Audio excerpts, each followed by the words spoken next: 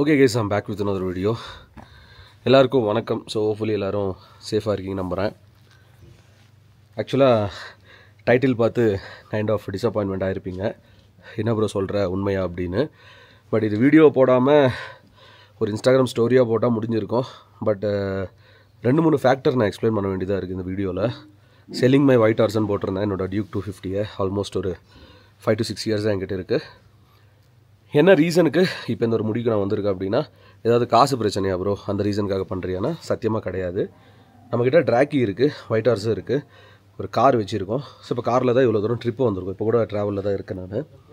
அப்படி ட்ரிப்பில் இருக்கும்போது ஒயிட் ஹார்ஸ் இப்போ தான் ரீசெண்டாக டோட்டல் இன்ஜின் ஒர்க் பண்ணி பிரேக் பேட்ஸ் மாற்றி ஃபோர்க் சீல் உடஞ்சது அதை மாற்றி ஷாக் அப்சர்வர் மாற்றி ஒரு பர்ஃபெக்ட் கண்டிஷன்ஸை பார்த்தீங்கன்னா அந்த வண்டி நான் வச்சுருந்தேன். எப்போது நேபாள் போகும்போதே நான் அது விட்டுட்டு போன வண்டி அது. ஃபுல்லாக நான் ப்ரிப்பேர் பண்ணி வச்சுட்டேன். பட் அது வீட்டில் சும்மாவே இருக்கிறது எனக்கு கொஞ்சம் கஷ்டமாக இருக்குது ரெண்டாவது நீ அதை வச்சு ட்ரைடு போகலாமே ப்ரோ ஏன் போகல அப்படின்னு கேட்டிங்கன்னா ஒர்க்ஸ் ஒரு பக்கம். இனி இந்த சாங்ஸ்லாம் பண்ணிகிட்டு இருக்கேன். ரெண்டாவது பர்சனலாக கொஞ்சம் வீட்டு ஒர்க்ஸு ஊருக்கு போயிட்டு வர்றது அதில் விஷயம்லாம் நிறைய இருக்குது இதுக்கு நடுவில் என்னால் ப்ராப்பராக கான்சென்ட்ரேட் பண்ண முடியல. ஒயிட் ஹார்ஸ் எடுத்து வெளியே அதை ஒரு ரைடு எடுத்துன்னு போகிறதுக்கு ரெண்டாவது நிஞ்சா தௌசண்டாக நேபாள் போயிட்டு வந்துட்டேன். அதுக்கப்புறம் அந்த பைக்கை இன்னும் சில டெஸ்டினேஷன் எடுத்துன்னு போகணும் அப்படின்னு என்னோட பிளானு இந்தியாவிலேயே ஒரு நிஞ்சா தௌசண்ட் ஒரு ஒன் லேக் கிலோமீட்டர்ஸ் ஓடின வண்டி நம்ம வண்டியாக தான் இருக்கணும் அப்படின்னு ஒரு சில ஆசைலாம் எனக்கு இருக்குது பட் என்ன ஒரு விஷயம்னா ஒயிட் சும்மா வீட்டில் இருக்கிறது எங்கள் அம்மாவே ஆக்சுவலாக ஆல்மோஸ்ட் ஒரு த்ரீ டு ஃபோர் மந்த்ஸாக சொல்லிட்டு இருந்தாங்க. அந்த வண்டி யாருக்காவது கொடுத்துரு அந்த வண்டி யாருக்காவது கொடுத்துரு அப்படின்னு சொல்லிட்டு. பட் அது சென்டிமெண்ட்டு எமோஷன் அது கொடுக்க விருப்பம் இல்லை.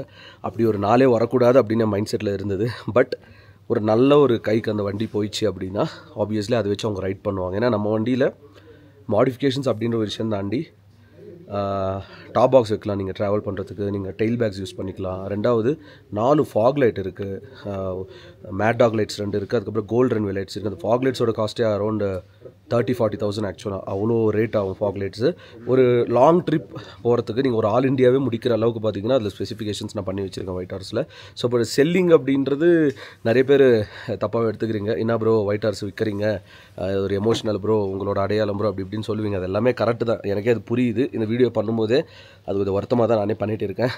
என்னடா இப்படி ஒரு முடிவு வந்துட்டுமே? வண்டியை விற்கிற ஒரு மைண்ட் செட்டுக்கு வந்துட்டோமே அப்படின்னு சொல்லிட்டு.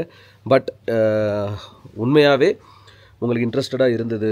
என்னோடய ஒயிட் ஹார்ஸ் நீங்கள் எடுத்து ஒரு ரைட் பண்ண போகிறீங்க சும்மா எடுத்துகிட்டு அது அப்படியே வச்சு நான் அது ஓப்பனாக நான் சொல்லிடுறேன்.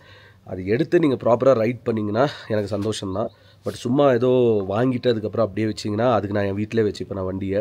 நான் கொடுக்கக்கூடாது அப்படின்னு சொல்லி மைண்ட் செட்டில் தான் டெய்லி யோசிச்சிட்டே இருந்தேன். பட் ஒரு கட்டத்துக்கு மேலே ரெண்டு வண்டி சும்மா வீட்டில் இருக்கிறது அது பாழாகி போகும் அப்படின்னு சொல்லிட்டு ஒரு பயம் எனக்கு. ஏன்னா ஆல்மோஸ்ட் இப்போ நான் ஒயிட் ஹார்ஸ் ஸ்டார்ட் பண்ணியே கிட்டத்தட்ட இருபது நாள் மேலே ஆகிடுச்சு ஸோ அதுக்கப்புறம் இது நான் யோசிச்சுட்டு மைண்டில் வச்சுட்டே இருந்தேன்.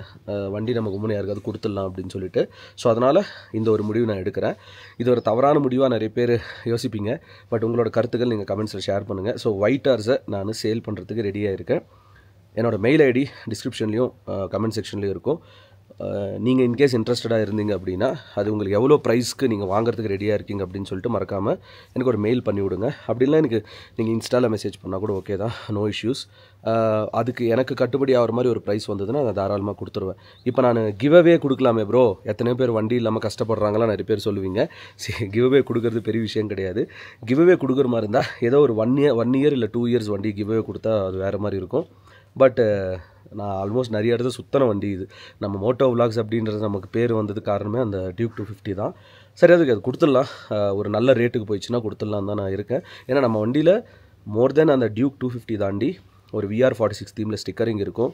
அந்த ஹேண்ட் ரெஸ்ட்டே டிஃப்ரெண்ட்டாக இருக்கும். ஃபாக்லைட்ஸ் நாலு இருக்குது உங்களுக்கு டாப் பாக்ஸ் செட்டப் இருக்குது ஒரு டாப் பாக்ஸ் இருக்குது ஸோ இவ்வளோ விஷயங்கள் பார்த்தீங்கன்னா நான் பண்ணியிருக்கேன். சைட் ஃபுட் ரெஸ்ட்டில் வச்சு அதாவது மாடிஃபிகேஷன் கணக்கெலாம் நான் போட்டாலே கிட்டத்தட்ட ஒரு டூ லேக்ஸ் கிட்ட மாடிஃபிகேஷன்ஸே பார்த்தீங்கன்னா நம்ம வண்டியில் இருக்கும். பட் உங்களோட பட்ஜெட் ப்ரோ இந்த ரேட்டுக்கு வந்தால் நான் வாங்கிக்கிறதுக்கு ரெடி ப்ரோ நான் இதை வச்சு ட்ராவல் பண்ண போகிறேன் ப்ரோ நீங்கள் ரெகுலர் யூஸ் பண்ணாலும் எனக்கு ஓகே தான். பட் வண்டியை ரெகுலராக யூஸ் பண்ணுறவங்களும் நான் கொடுக்கலான்னு இருக்கேன்.